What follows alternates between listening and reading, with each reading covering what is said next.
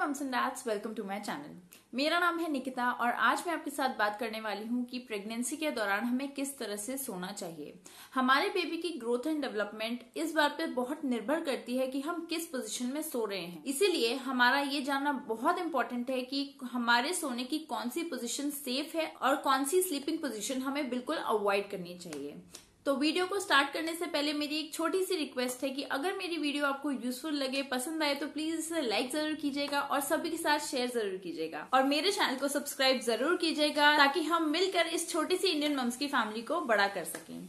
और अब आप मुझे सोशल मीडिया पे भी फॉलो कर सकते हैं। मेरे फेसबुक और इंस्टाग्राम का लिंक मैंने नीचे डिस्क्रिप्शन बॉक्स में दिया हुआ है। तो चलिए, बिना किसी देरी के जल्दी से वीडियो को स्टार्ट करते हैं। तो पहले हम बात करते हैं उन स्लीपिंग पोजीशंस के बारे में, जो कि हमें बिल्कुल अवॉइड करनी चाहिए, जो हमारे बेबी के लिए बिल्कुल भी सेफ़ नहीं है। तो पहली स्लीपिंग पोजीशन है पीच के बल सोना यानी कि अपनी बैक के बल सोना प्रेगनेंसी के फ़र्स्ट ट्राइमेस्टर में आप किसी भी पोजीशन में सो सकते हैं बैक पे, पेट पे साइड्स में, कोई भी पोजीशन में आप इजिली सो सकते हैं, सारी पोजीशंस आपके लिए सेफ़ हैं। बट सेकेंड और थर्ड ट्राइमेस्टर में आपको पीठ के बल सोना बिल्कुल अवॉइड करना चाहिए, क्योंकि सेकेंड और थर्ड ट्राइमेस्टर में हमारा जो यूट्रस का साइज़ है वो बढ़ रहा होता है और हमारे बेबी भी ग्रो कर रहा होता है और अगर हम पीठ के बल सोते हैं तो हमारे यूट्रस और बेबी का सारा प्रेशर हमारी बैक पे पड़ता है इंटेस्टाइन पे पड़ता है और ब्लड वेसल्स पे पड़ता है, जिसकी वजह से हमें बैकेक जैसी प्रॉब्लम होती है और हमारा डाइजेशन सिस्टम भी स्लो हो जाता है। साथ ही साथ जो ब्लड वेसल्स हमारे बेबी तक ब्लड सप्लाई करती है, उस तक खाना पहुंचाती है, उस पर प्रेशर पड़ता है, जिसकी वजह से हमारे बेबी की ग्रोथ एंड डेवलपमेंट में काफ़ी रुकावटें आती हैं। तो इसीलिए सेकेंड और थर्ड ट्रेमेस्टर में आप पीठ के बल बिल्कुल भी मत सोइएगा। सेकेंड स्लीपिंग पोजीशन जो आपको बिल्कुल अवॉइड करनी है, वो है पेट के बल सोना, यानी कि अपने स्टमक के बल सोना।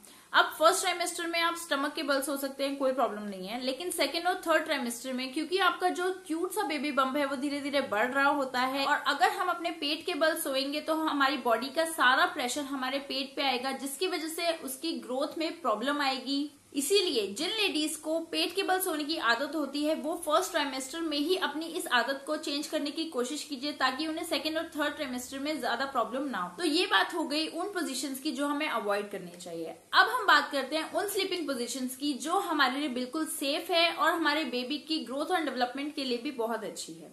तो पहली स्लीपिंग पोजीशन है हाफ़ सिटिंग पोजीशन यानी कि जो आप ऊपर पिक्चर में देख रहे हैं, उस तरह से सोने की पोजीशन इस पोजीशन में आप अपनी कमर के पीछे कुछ पिलोस का सपोर्ट लेते हैं और फिर लेटते हैं, जिसकी वजह से आपकी बैक को सपोर्ट मिलता है। और अगर आपको बैक एक हर्ट बर्न या फिर सांस लेने में दिक्कत जैसी प्रॉब्लम आ रही है तो आप इस पोजिशन में सो सकते हैं। इससे आपको उन प्रॉब्लम में काफ़ी रिलीफ मिलेगा। और इस पोजिशन में आप तीनों ट्राइमेस्टर्स में इजिली सो सकते हैं। अब बात करते हैं नेक्स्ट स्लीपिंग पोजिशन के बारे में, जो की है अपने साइड में होके सोना। यानी कि स्लीप ऑन साइड प्रेगनेंसी के सेकेंड और थर्ड ट्राइमेस्टर में आप किसी भी साइड में होके सो सकते हैं। लेफ़्ट साइड या राइट साइड जो भी आपकी मर्ज़ी हो। लेकिन, अगर मैं बेस्ट पोजीशन की बात करूँ तो ऑकलैंड न्यूजीलैंड में एक छोटी सी रिसर्च हुई थी, जिसके अकॉर्डिंग जो लेडीज़ लेफ़्ट साइड में सोती हैं, उनके बेबी की ग्रोथ एंड डेवलपमेंट बहुत अच्छे से होती है। क्योंकि लेफ़्ट साइड में सोने की वजह से आपका ब्लड सर्कुलेशन बहुत अच्छे से होता है और आपके बेबी तक ऑक्सीजन सप्लाई भी बहुत अच्छे से पहुँचती है। साथ ही साथ प्लेसेंटा के थ्रू न्यूट्रिएंट्स बहुत इजीली आपके बेबी तक पहुँचते हैं। और लेफ़्ट साइड में सोने की वजह से जो आपकी किडनी है, वो बहुत अच्छे से वर्क करती है, जिसकी वजह से